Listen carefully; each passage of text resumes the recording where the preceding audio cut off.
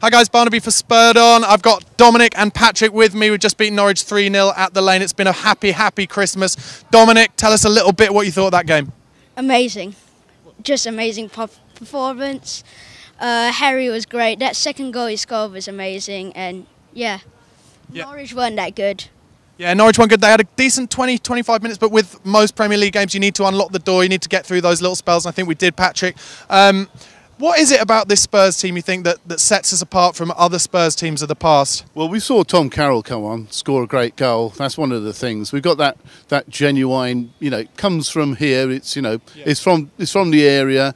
We're trying to have as much English talent as we can. Where we're not, we've got young foreign talent. We've got the youngest team. So these are all great things. When you think about our last time in the Champions League, we did with a lot of older players. Now, if we get in there, we could go season after season with the squad, and that would they could grow together. This is what everybody believes. I think at Tottenham, we're all seeing the future is here. You know, this is the best we've had for years and years and years. I think the best opportunity. Absolutely, the passion and the belief, and that, I think that's a good point. The growing together, and maybe they look at that at the new stadium in three years' time, and they think, "Oh, we could be the first people into that stadium."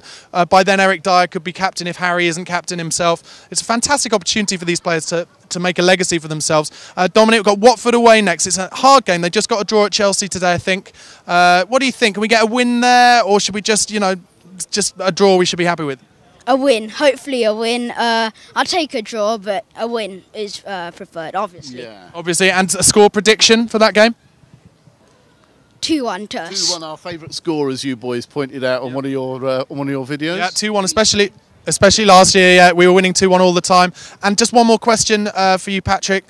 How far up the league? I've been asking everyone, but how far up the league can we really look? Can we dream of higher than fourth? You know, because we, I think we're in the fourth race, whatever happens. Hmm. But can we get higher? Everyone's dropping points. I think this season we could, but we're too reliant on Harry. You know, and G's injured now.